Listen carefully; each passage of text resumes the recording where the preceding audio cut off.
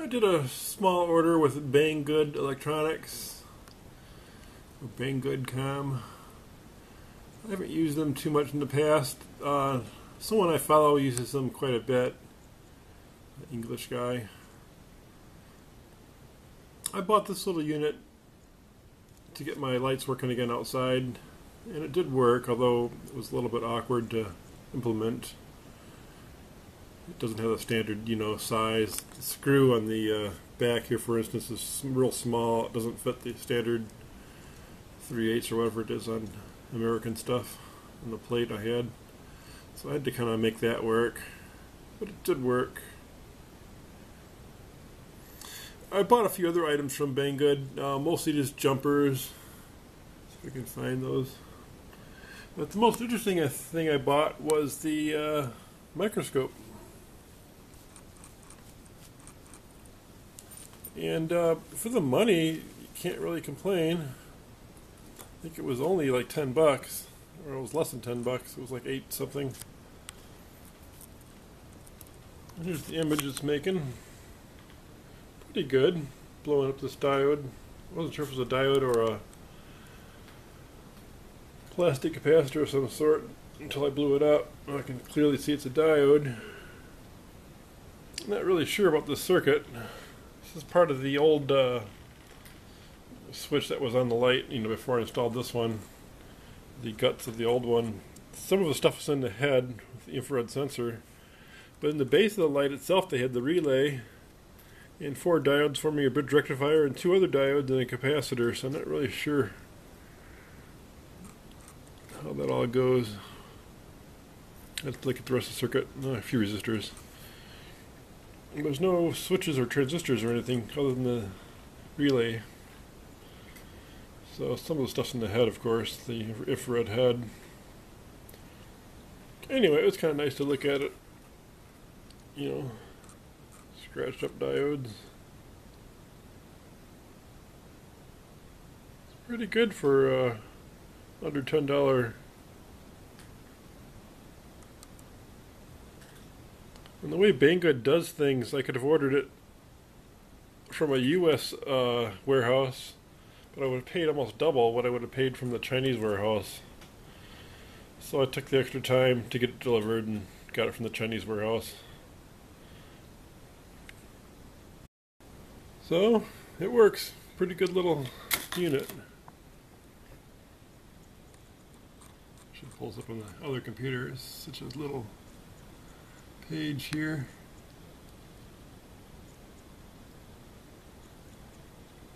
I think I got the one that's listed as 16 here, but it was on sale. That's a pretty good image, though. You can see the uh, resistor hole here where the resistor is going through. And You can even see the uh, coating on top that was pierced.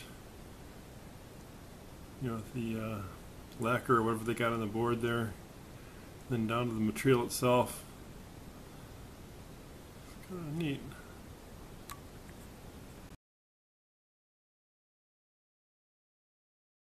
Here I'm just looking at a piece of paper, um, note paper with, uh, it's got like a tinted background and uh, some little flowers on it.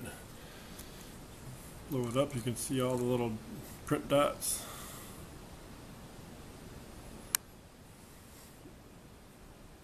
And my writing ink pen.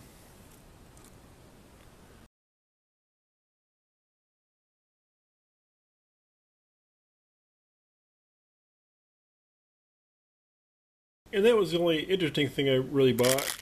Bought some uh, 3055 transistors just to have them around for stock. I don't have any left. I was looking for one. Good all-purpose switching transistor. I bought some more of these jumpers. I've got some long ones like these too. I figured to get some short ones.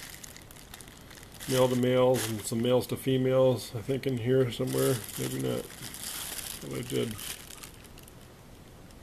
At any rate, I initially didn't buy these jumpers. I usually used uh, like telephone wire, that little thin 26 gauge crap, and it was just such a pain in the butt.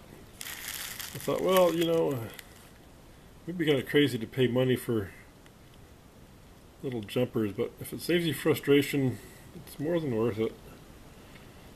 Not having wires pull out on on you all the time.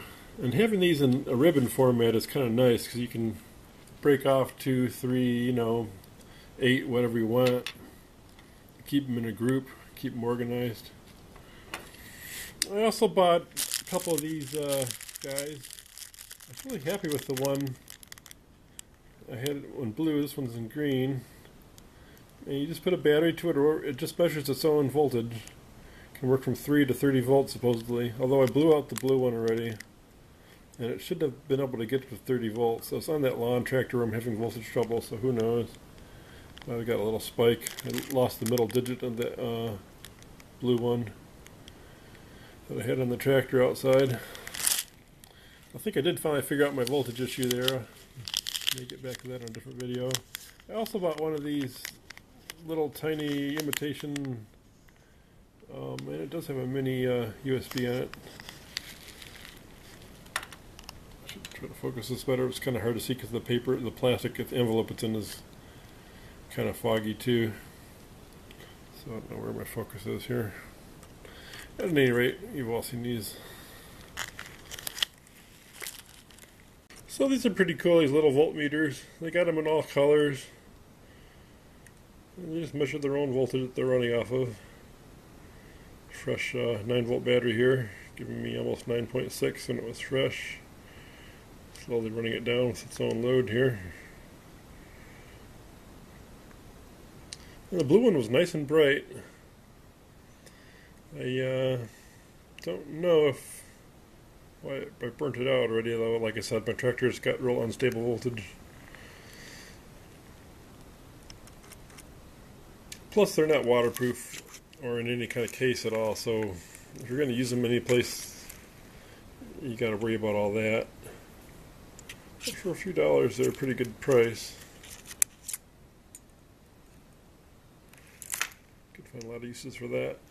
So, anyways, not too bad for you know, a occasional use experimenter type thing.